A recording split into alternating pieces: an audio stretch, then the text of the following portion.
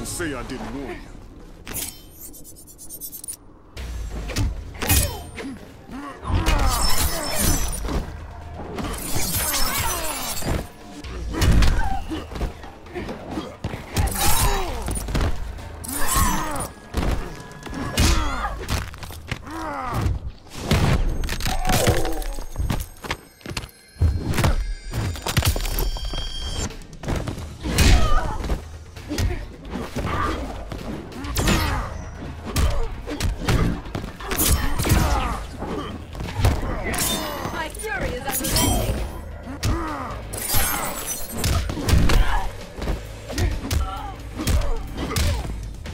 You gonna feel that for days.